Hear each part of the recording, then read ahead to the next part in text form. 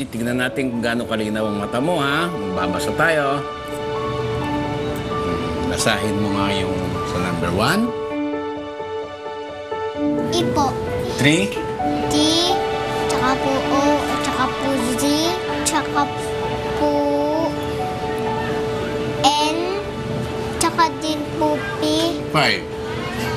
P, E, C, D, tsaka po D. Sa kabila naman, ha? Okay.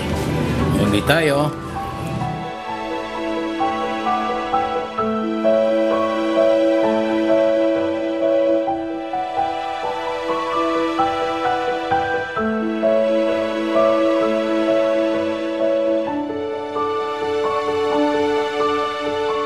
Relax lang, iha, ha? Tumingin ka dyan.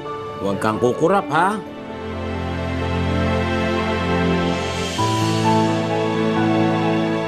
Okay ha. Tumingin lang ng diretso, huwag kukurap ha.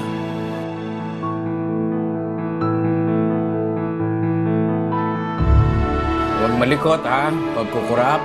Kabilang mata naman ha. O, Huwag kukurap ha.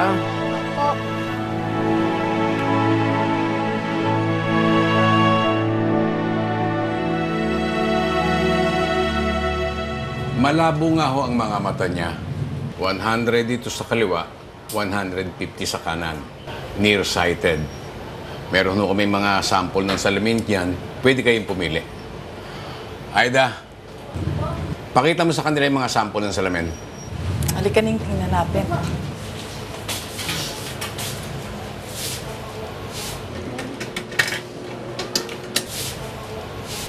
Magkano ho yung salamin? Yung lens po, 500. Yung frame, 800. Bali, 1,300. Ho? Mura na ho yun. Subukan nyo sa iba. Pinakamababa, 2,000.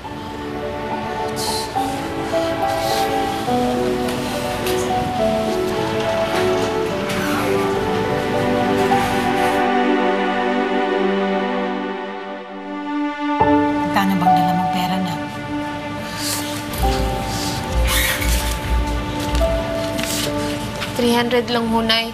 Pero meron pa akong 200 na iwan ko lang sa bahay. Ako, 200 lang to na kasi pinautang ko pa kay Intang. Ah. Paano to ngayon na?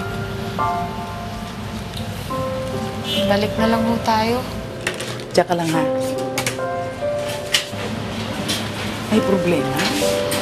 Ah, eh, Aling Candy kasi kulang yung pera namin para pangpasalamin kay Ningning.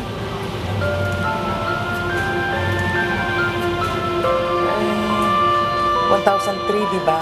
1,300 po lahat-lahat. Ako nang bahala. Mm.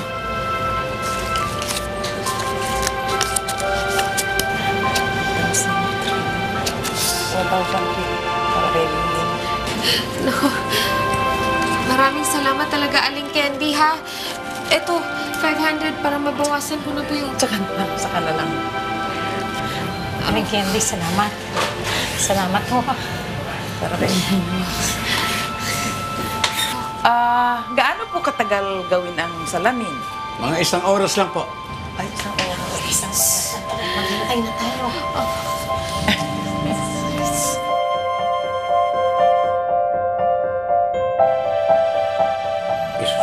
natin, ha? Tingnan natin kung maganda.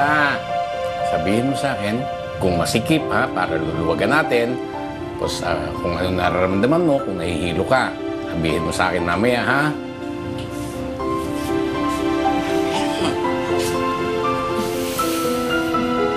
Anak, kumusta? Anong pakiramdam mo? ano pong itsura ko? Pwede po ba makiram ng salamin? Salamat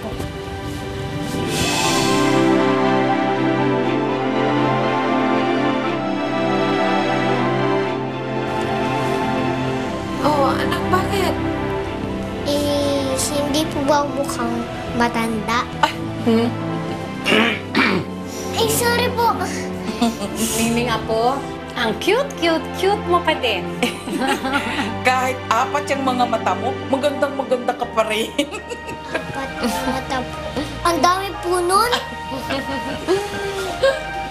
Anak, kumusta naman yung paningin mo? Anong pakiramdam mo?